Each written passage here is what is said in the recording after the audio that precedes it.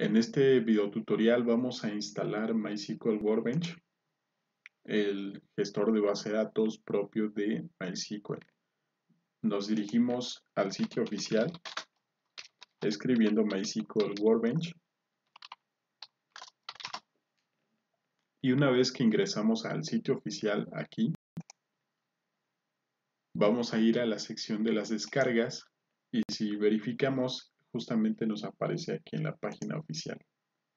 Le damos clic en descargar ahora y lo que sigue es elegir el sistema operativo por el cual vamos a instalar este software.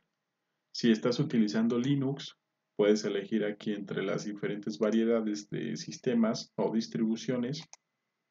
Si estás utilizando Mac, Fedora o si quieres eh, utilizar el código fuente, pues puedes hacerlo también. En esta ocasión estamos trabajando con Windows, entonces me descargaré el instalador específico para Windows.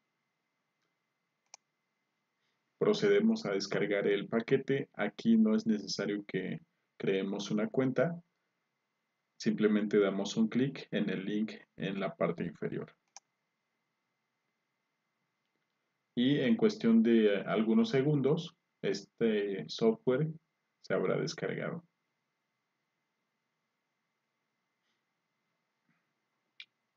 Listo, ya tenemos el paquete de software en nuestro equipo y lo que sigue es instalarlo. El wizard de este archivo pues es muy similar a cualquier otro software que se instala dentro de Windows. Presionamos en siguiente, después nos muestra la ruta por la, en la cual se va a instalar este software, la vamos a dejar así por defecto. Vamos a indicar que se instale de forma completa. Nos da un resumen de la información del proceso de instalación y damos clic en instalar. En este momento nos solicitará el acceso o los permisos para que realice cambios en nuestra computadora. Vamos a aceptar estos cambios y esperamos a que finalice el proceso.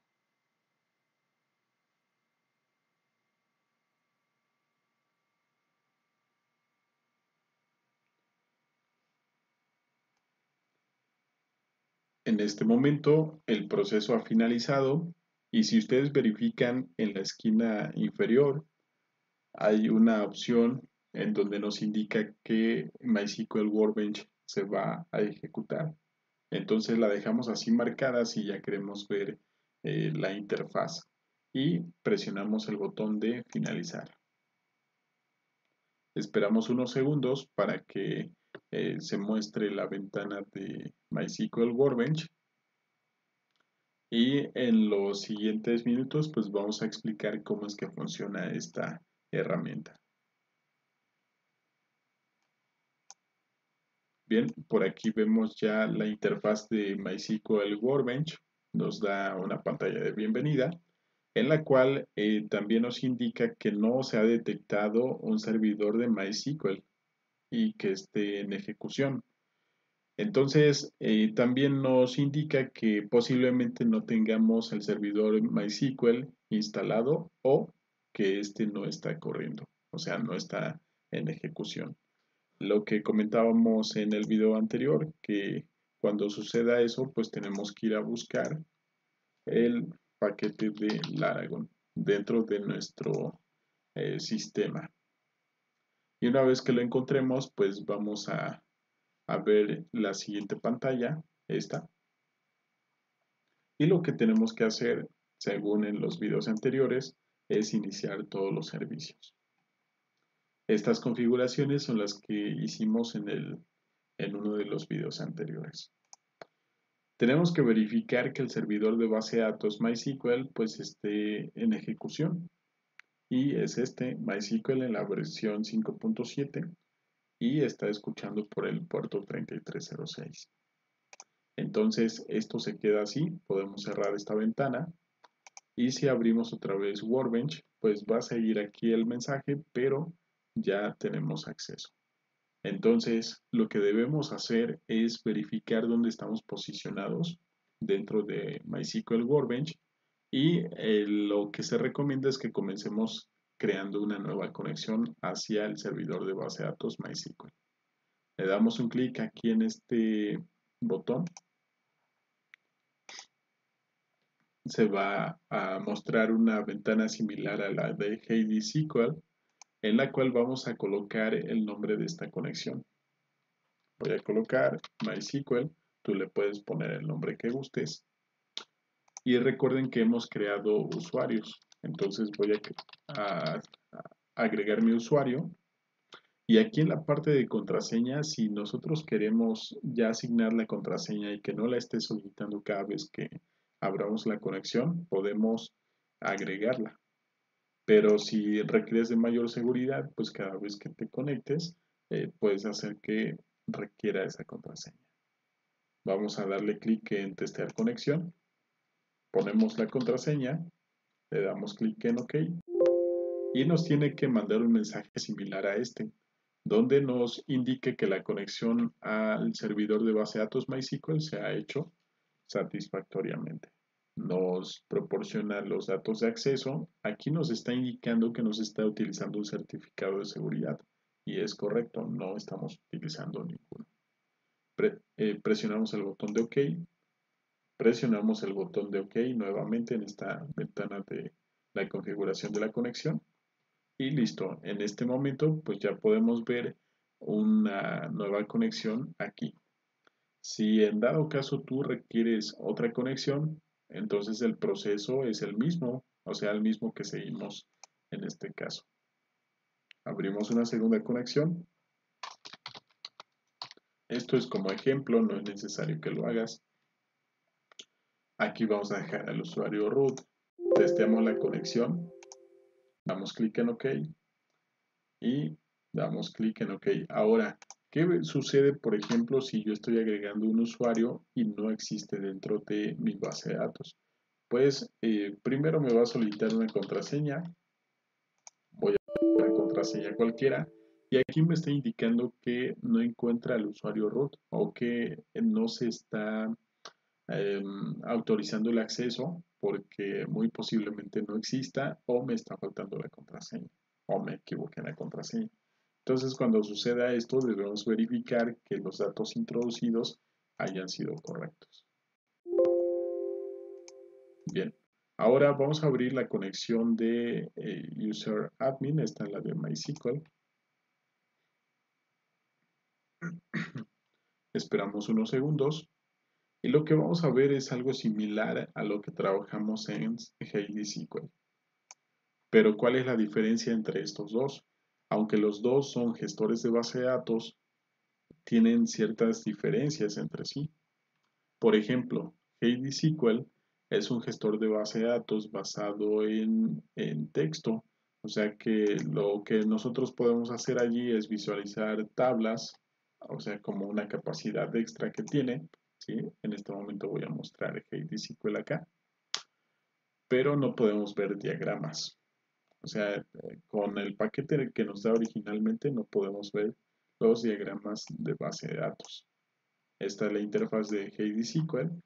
En lo personal me parece muy agradable, muy amigable, pero sí le falta una que otra característica. ¿Cuáles son las ventajas de Heidi SQL? Que va convirtiendo las palabras reservadas palabras clave en mayúsculas y tenemos, eh, digamos, una área eh, muy bien eh, distribuida para mostrar los resultados de las consultas y un área de trabajo amplia.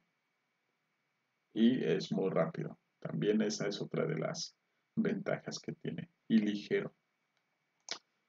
Eh, Workbench, por su parte, este sí nos soporta la creación de diagramas.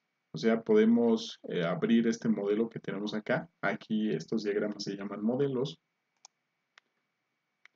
Y podemos ver que las bases de datos se pueden crear de forma gráfica. O sea, creando tablitas, o mejor dicho, tablas. Y a cada tabla asignándole o creando dentro de estas cada uno de sus atributos. Esto es lo interesante de trabajar con Workbench. Y esto que tenemos aquí también lo podemos hacer desde el código fuente de SQL.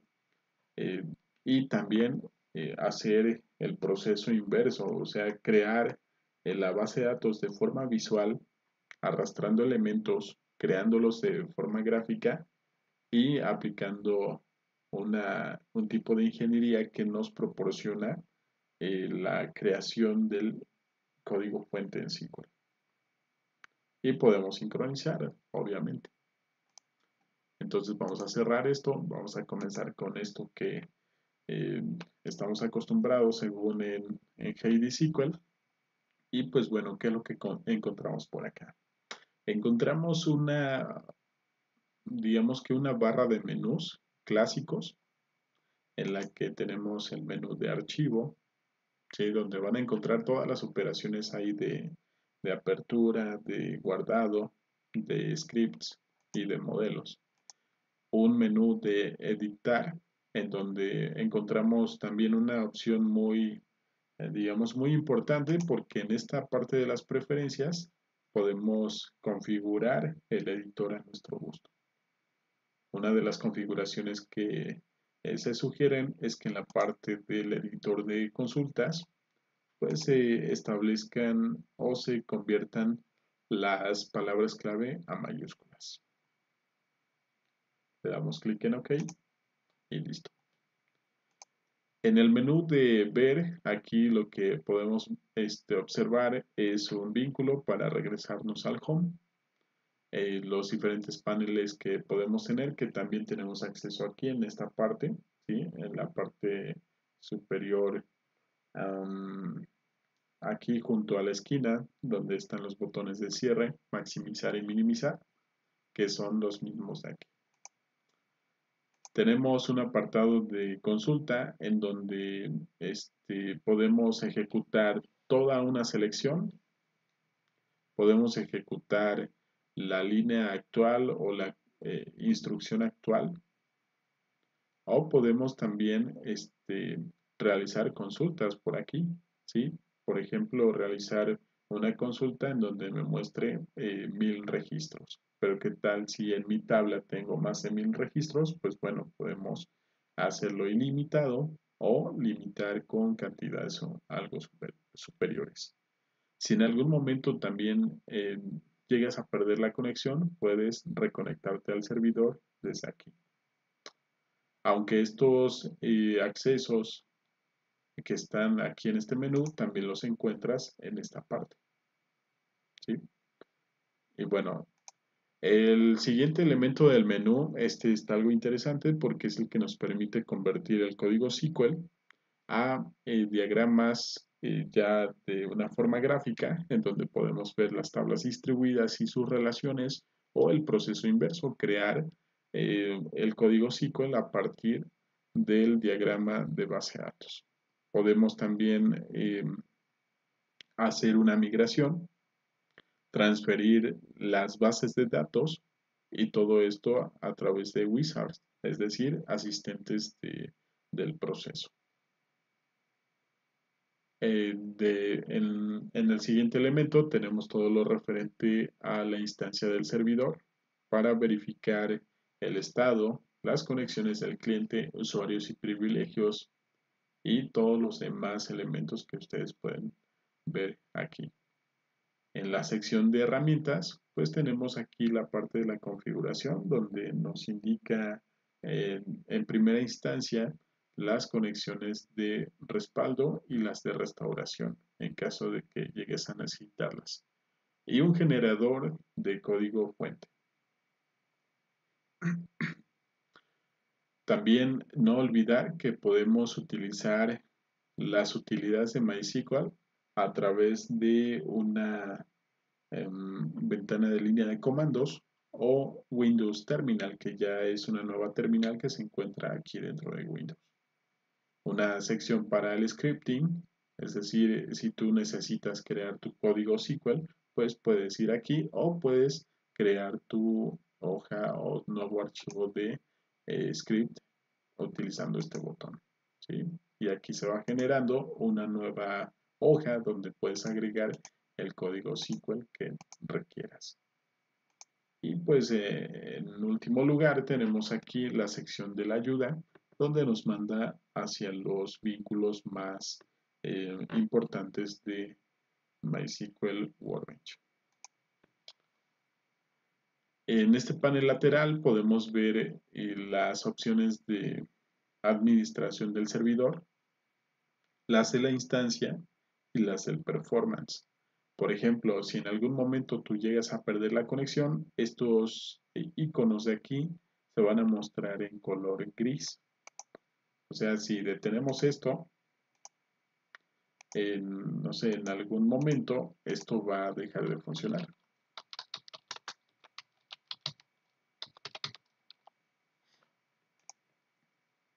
Si lo ejecutamos, pueden ver aquí en la parte inferior que me manda un mensaje de error. Y podemos em, diferenciar los mensajes de error de los mensajes de éxito por el tipo de icono que nos muestra.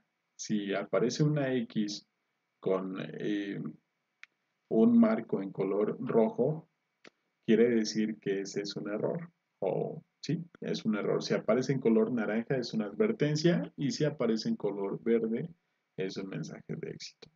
En este momento el error me indica que no se puede establecer una conexión a la base de datos.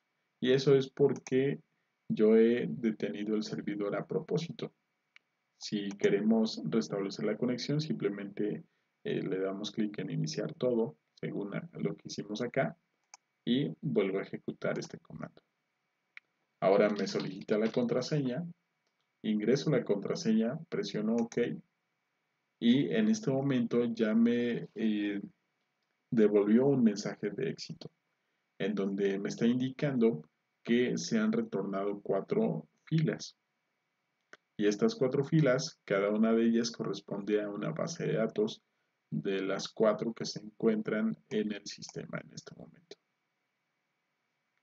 Eh, si quieres ver aquí en el panel lateral las bases de datos que están actualmente, pues simplemente hay que dar un clic en esquemas y podremos ver en este momento las bases de datos de, nuestra, este, de nuestro servidor.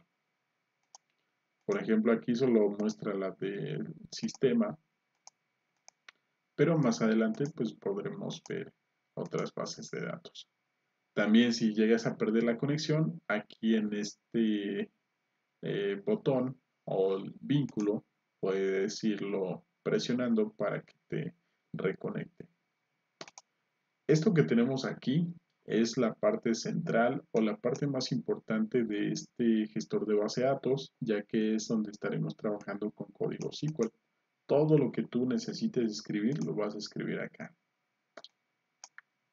En la parte inferior tenemos una sección donde se muestran los resultados de las consultas y de las operaciones que se realizan con SQL. Incluso de forma gráfica, si en algún momento necesitas, eh, no sé, retornar información de lo que tenemos en una base de datos y no quieres hacerlo con código, lo puedes hacer de forma gráfica. Y los resultados se van a mostrar aquí en la parte inferior y en su respectiva consulta. Y nota en este momento que se genera una nueva pestaña. No trabaja sobre la misma pestaña en la que estábamos hace un momento, sino que se genera una nueva. Ahora, en esta sección, en este otro panel lateral, podemos encontrar algunos snippets. Los snippets nos ayudan a crear eh, fragmentos de código muy rápidos ¿sí? Es decir, que ya están ahí disponibles para que eh, podamos utilizarlos. Em, y puedes crearte más snippets. O sea, es solo cuestión de, de tomar este fragmento de código y lo adaptas a lo que tú necesitas. Lo más recomendable es que lo hagamos desde cero para aprender el lenguaje SQL. Eh, estos paneles los puedes activar o desactivar según lo requieras. Ahora en el panel de consultas en el, perdón, en el de resultados de consultas, vas a encontrar que, por ejemplo, para los resultados puedes mostrarlos en grid, puedes mostrar un formulario para comenzar a agregar más datos en caso necesario. También tienes otras opciones, por ejemplo, eh, para indicar el tipo de dato que se encuentra o que al que se refiere tu, eh, tu tabla, ¿sí? Todo lo que contenga tu tabla aquí lo va a mostrar. el estado de la, este, de la consulta, ¿sí? Te indica cuánto tiempo se llevó en la ejecución y demás datos importantes por acá. Y bien, ese es, digamos, a grandes rasgos el funcionamiento de esta herramienta.